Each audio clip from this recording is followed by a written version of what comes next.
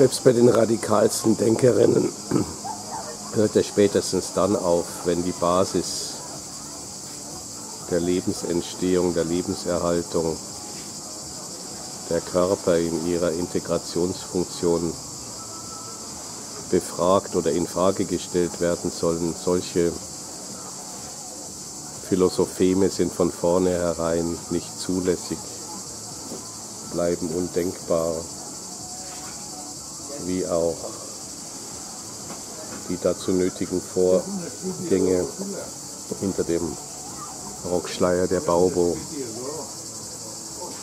durch exhibitionistische Demonstration verborgen bleiben müssen qua Seelenblendung